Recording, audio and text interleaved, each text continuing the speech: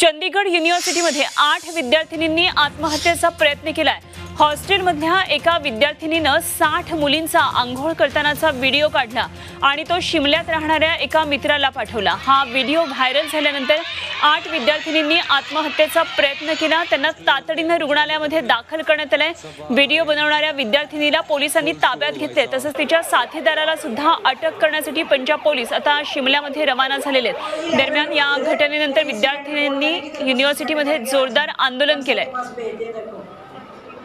क्यों प्लीज मारो एक तरफ फिर कंप्लेन करते हैं कि औरत थप्पड़ मारने को बोलती है।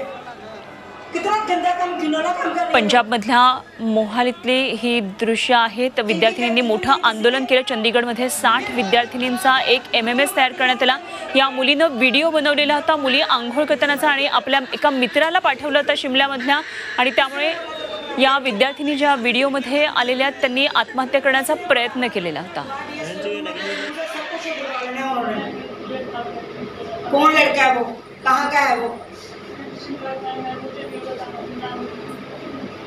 तो अब तू जानती तभी ਮੈਂ ਸਮਝਦੀ ਹਾਂ ਪੇਰੈਂਟਸ ਦਾ ਕੰਸਰਨ ਵੀ ਸਮਝਦੀ ਹਾਂ ਮੈਂ ਪੰਜਾਬ ਸਰਕਾਰ ਚੋਂ ਹੀ ਕਮਿਸ਼ਨ ਹਾਂ मैं अपनी ड्यूटी निभाते हुए पेरेंट्स ਨੂੰ एक ही यही मैसेज देना चाहती हूँ कि मैं यहाँ आई हूँ उनके सपोर्ट सिस्टम के लिए खड़ी हुई हूँ जो भी इसमें दोषी पाया गया पर सबसे पहले इन्वेस्टिगेशन जरूरी है जब तक इन्वेस्टिगेशन नहीं होगी कोई भी कमेंट करना मुश्किल है पर आश्वासन देती हूँ मीडिया के राही जितने भी पंजाब की बच्चियों के पेरेंट्स हैं कड़ी कार्रवाई होगी कल शाम अ, को एक मैटर नोटिस में आया था, जहाँ पे कि कोई वीडियो बनाया गया है बाय अ गर्ल एक स्टूडेंट की तरफ़ से, और वो वीडियो जो है उसके रिगार्डिंग कुछ र्यूमर फैल गया था कि वो वीडियो किसी, कुछ और लोगों का भी बनाया गया है।